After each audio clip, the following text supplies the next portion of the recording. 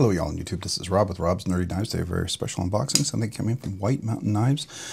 I think I have an idea what this is. Uh, I'm pretty excited about it. Today, I'm opening up with my large pyrite. This is the G10 version, new version of the one that just came out. I'm pretty excited about this one. You saw my unboxing of this. A review is coming. It's pretty nice, by the way. Let's see what we got in here. All right, we got peanuts. We got a Civivi. Okay.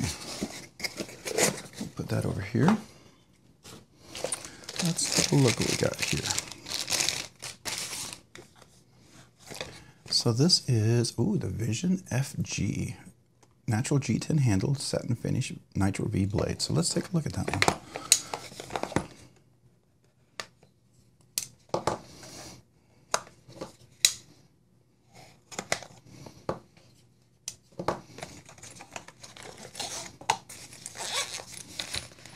All right, so typical.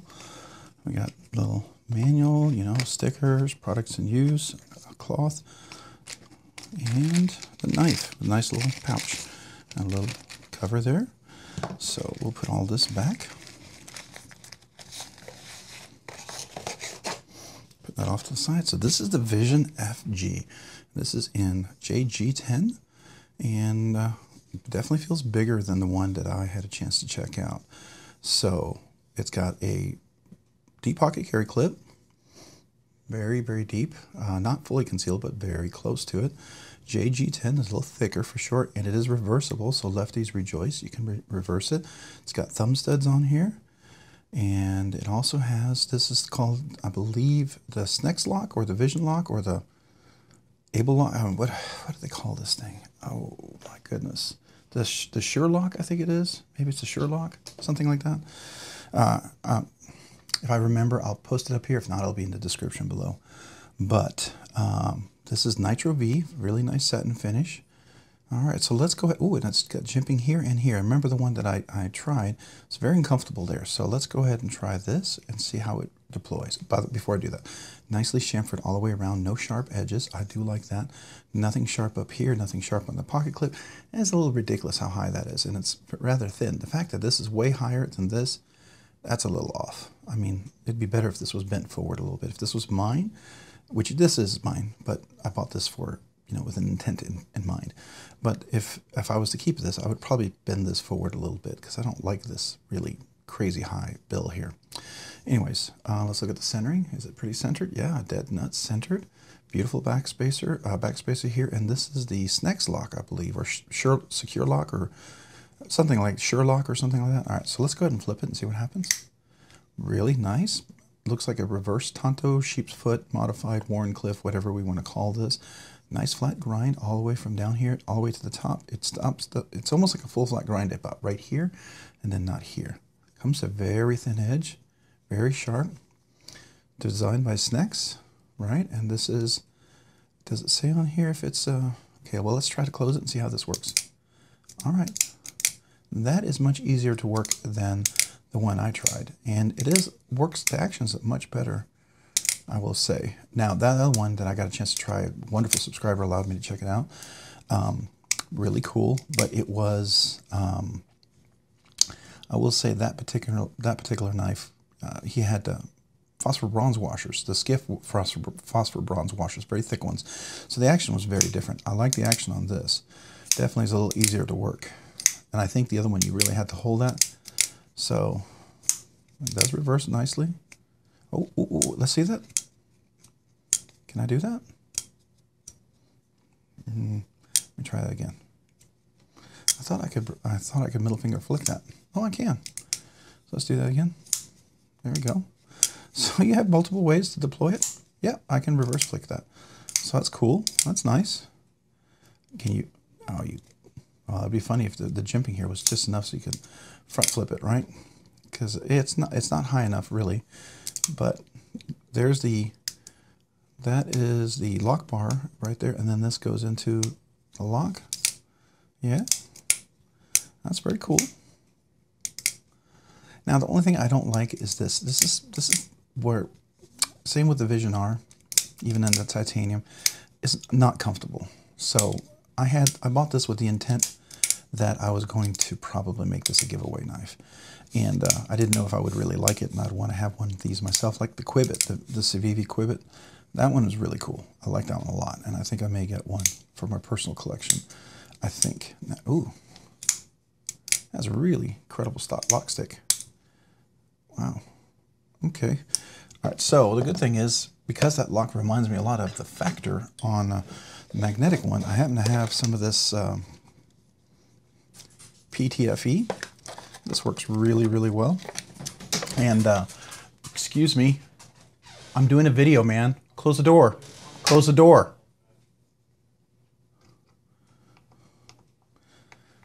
All right, I'm back. Sorry about that. I have to edit the video here because I was interrupted. All right, so this, uh, I was using this right here for the, um, the factor. This is the PTFE one. And so um, I wanted to put that in here and see if maybe we get a little bit in here, see if that works a little bit better.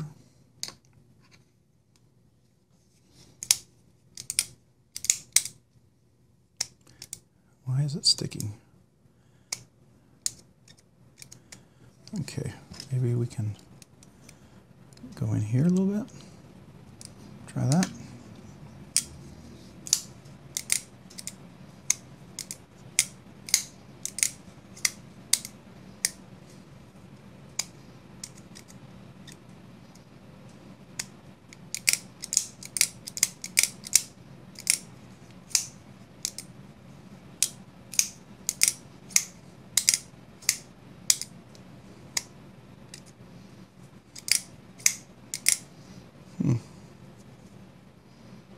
That's interesting. Well, I don't know much about this Snecx lock, but I, I, don't. I'm not digging that, and I don't know if that happens on the regular Vision R. Um, you know, I only got a chance to, to check it out, do a quick review of it. It's not wasn't one of the recommended knives for me, but everyone talked about this knife being so incredibly great, and so I bought it for the for the fact of a get. Wow. Okay,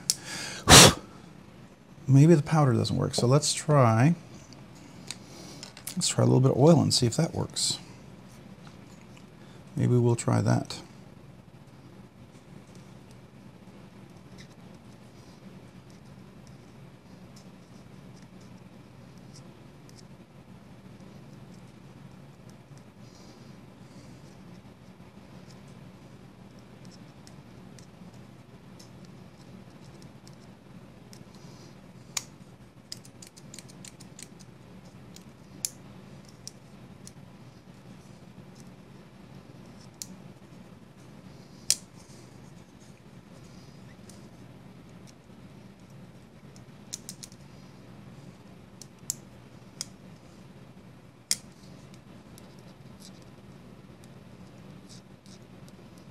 Finally almost out of this oil.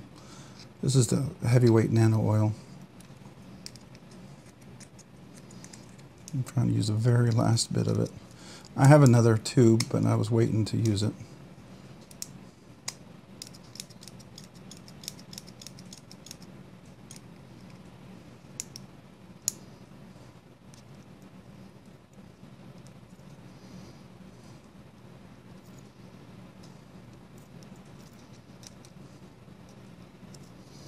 I think I'm done. I think we're finally out. All right, I'm gonna have to get another tube real quick. Be right back.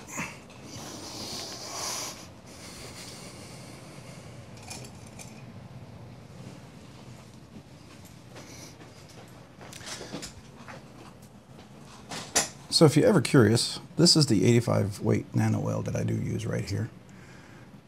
And this is the 10 weight nano oil that I use. And then they have a lightweight that's five, five, uh, it's five weight. This is 85 weight. So let's take that tube off and see if we can get some in here.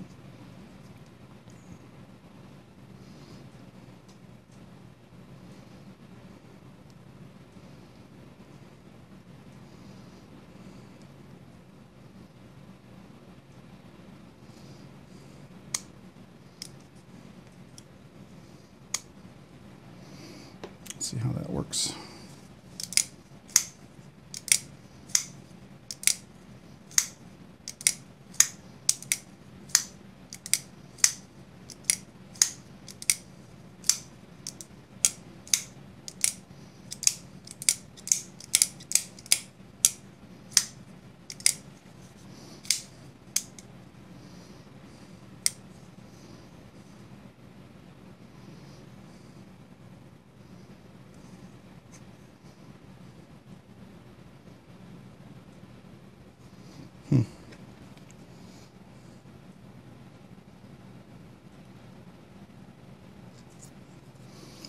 Drop down there and see what that does. That does.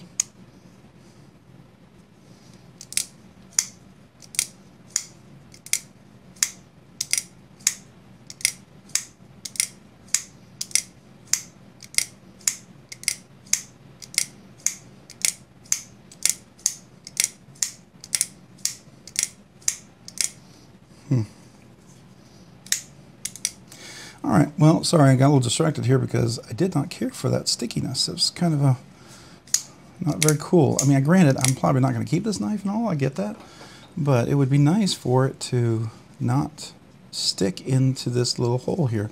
I suspect that might break in after a while, but I, I've never, never noticed that before. So if you guys who have Snecx locks or secure lock or whatever this thing's called, um, have to let me know. Matter of fact, does it say on the paperwork? I'm going to see if it tells me what this is called. Maybe it has a little bit of information on there.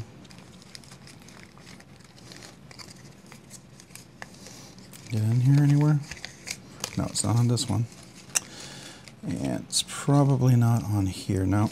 All right, so there's no information really for it. So anyways, uh, don't know if that's normal, but I will tell you that with the Vision R, you know, it's it's a cool design, but I don't care for this. This is just not comfortable. And and what I'm comparing it to, and you can say whether this is fair to compare it to or not. You let me know what you think, but I'm comparing it to obviously the uh, it, they're different designs, completely different designs, but similar in function. You have something that pushes down, locks in.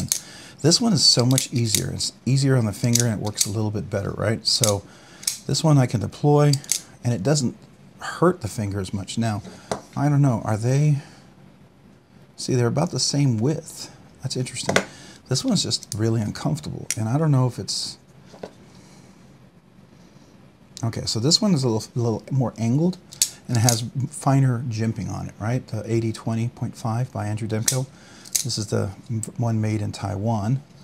So, um, and then this is, this has little bigger, uh, not as fine jimping, but it's all the way up to the top. So, you know, I guess it's a matter of aesthetics. And, and you know what it reminds me? It kind of curves up like that. So it reminds me of Rick Hinderer, like the flipper. Uh, now, I carry a, an XM18 non-flipper because that flipper is ridiculous and I just would not like it at all. I had the Jurassic that had a similar flipper, but it wasn't as bad, but it's still way uncomfortable.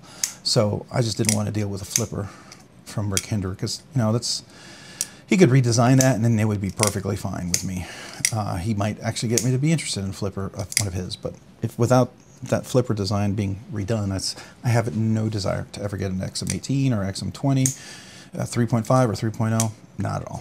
But the non-flipper, I like. I like it a lot. I really enjoy that knife. So, I mean, I'll tell you this, it's not sticking as much now. I put a little oil in there, probably breaking in. So that's good. Now we can get back to reviewing the knife, right? Or reviewing, it's not a review. It's an unboxing, first impressions. That's what we're dealing with. Um, my first impressions are, I like the thumb stud. The thumb stud deployment is really nice. Gives you a nice deployment, works really well.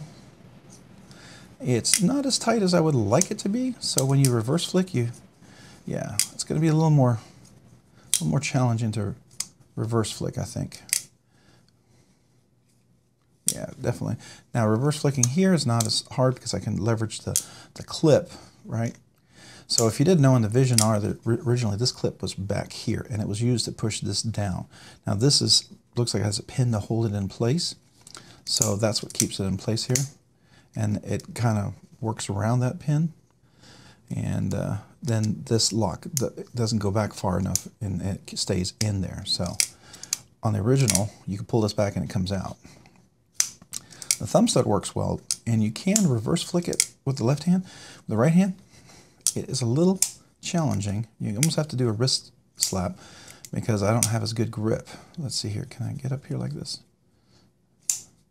Yeah. So anyways, it's cool. It's definitely cool. I know some people are just going crazy nuts over this, and I'm glad. And uh, if you love this design, you will you will love this one. Um, and if you've been on the edge and you kind of liked it, but you didn't, you may love this design. Uh, I I may be weird. I'm not sold on the design. I'm just not, and I'm sorry. It is my first impression. I think it's cool. I love the technology. I think it's great. This could be designed so much better. It really could. This is so uncomfortable. This is almost like the Urban EDC. There was a um, knife that they had and had this weird flipper. It was so uncomfortable. And if they could, if they could have fixed the flipper, just like the Rick Hinderer uh, XM18 flipper, I I think I would have loved it. I, I, sold that knife. I had the Sagae pattern and everything. It was really nice, but it was horrible. It was absolutely horrible. And to me, a knife is more than just a cutting tool. It's a cutting tool, but it's a it's a fidget toy. It's a it's a tool. It's a something aesthetic piece of work that I enjoy carrying and using and regularly flipping and having in my hand. And this is not comfortable at all. This little flipper, I do not like this. My finger's already sore, completely sore, way sore than I would be actuating this one. This one I can put my whole finger on there and work it. It's much easier. It's not as hard to, to get there. You know, you, you can say for whatever you want. You know, you can't, can you? Yeah, so you can, you can get past that shark lock because the spring, could you make the spring a lot tighter? Absolutely. And then it probably be similar, but I like the spring as it is like this. I think it's really nice. So for me personally, that's easier. And you see the angle right there? It's a little more angled, so it's not digging in with that one point. I can get to distribute the weight over that area as opposed to on here when I'm holding in all the weight is all centered right in this little tip point right here all centered so when I dig in that one spot is constantly the pressure point and I can feel it there and it gets a little numb and uncomfortable and that bothers me I wish it was a little different just if that grind was just a little bit different that would be so awesome and I don't know if there's some some patent some proprietary thing or whatever I don't know but that would be so nice if they could fix that. It would make this just so absolutely outstanding. Um, but it is cool. It feels really good in hand. Nice. Uh, again, this goofy thing is not necessary. It's ridiculous. Um, they could fix that, and I would. It would be for the better, right? Um, I would actually look to see if a different clip could fit in here because that is that's absurd. That's yeah. I'd bend it and fix it, or get a different clip. That, that's just absurd. So for such a nice knife, this is this is absurd. I like everything else about it. The blade is nice and thick. It is 14, uh, four, no, Nitro V, I think it is. Was it Nitro, Nitro V? I think it's Nitro V. Yeah, Nitro V. So Nitro V is a good budget steel. It's not as good as 14C28, but it's really good. Definitely better than D2 or 9MRV or something like that. So I think your or 8MRV, those are definitely better better steel. So that's nice. Um, yeah. You know, you can choke up here a little bit. You got to be careful. Kind of sneak a choke up there a little bit. There's no jimping up here. It is rounded, which is really nice. It's got a nice flat grind, very sharp. I do like that. Uh, good grip on here, uh, rounded here. Everything's comfortable. I got medium to medium large hands, so I've got plenty of room. Extra large hands would definitely go over. If you choke up, you've got plenty of room. But if you even if you were to hold this tight, definitely lots of room for double extra large hands for sure. It's got relatively thick blade stock. I'm going to guess that's like 0.12, maybe, maybe a little bit more, a little less. Uh, not a whole lot. Um, like I said, it's got the jimping up here. The thumb studs are really nice, rounded but volcano. They work really well, and it's easy to, to deploy with those thumb studs because you just follow the line, and it does deploy relatively relatively easy, a lot like a Pyrite, right? The pyrite over here, the thumb studs, if you follow this, it just deploys really nicely. Um, likewise. Like I said, the Volcano thumb studs work really well, just like they do on the pyrite. Works really nice. So everything about this is pretty pretty good. So this first impressions, first thoughts on this, you know, kind of give you my thoughts on it. Um, it's definitely a cool, I think it's going to be a great giveaway knife. I think people are going to really enjoy this. I don't like this myself. Uh, um, like, I don't love it. I don't hate it but I don't love it. And it's not my cup of tea, but I wanted to check it out because everyone's been talking about it. And I hear this is supposed to be the knife of the year, whatever. Um, just spoiler alert and and please you know if you're absolutely convinced it's the knife of the year be convinced right? But you're not going to convince me. This is will not be any in any contention for knife of the year for me at all in any way shape form or manner. But it is a very cool knife. I love the design. I love the engineering. I love everything about it. I think it's super awesome. I think it's a neat design. I think this is a much better version than the Vision R, quite frankly. Vision R was just, this is much better. I think it's well, way more, uh, way, it's executed well, much better than the Vision R. I can't even talk. Yeah, definitely executed much better than the Vision R for sure. So that's my initial impression on that. And we'll talk more about it. Everything else I do like about it, you know, um, pretty cool. So yeah, that's my, my initial thoughts of my first unboxing. So If you have any questions about this knife, maybe uh, the unboxing or maybe the review that I'm gonna, that's going to be coming, let me know in the comments down below. I'd love to hear from you and love to answer your questions. And if you have any questions about the channel or suggestions for Rob's Ramblings, please feel free to comment down below. I would love to hear them, and I do appreciate those. Hey, if you found this content fun, interesting, worthwhile, entertaining, or informative, would you please consider hitting the like button down below? If you've already hit that like button, would you please consider hitting the subscribe button? Subscribing and liking the videos really helps out the channel, allows me to grow, produce more content, and just do more things for you guys. So I really appreciate that very much. Thank you. And if you've done that, maybe please consider hitting the notification button so you can be notified of future content. And if you've done all that, then hey, maybe go over to Instagram. Check me out over on Instagram at robs underscore nerdy underscore knives. Again, that's on Instagram at robs underscore nerdy underscore knives. Thanks so much for watching today. You guys have a great day and a great week. Bye.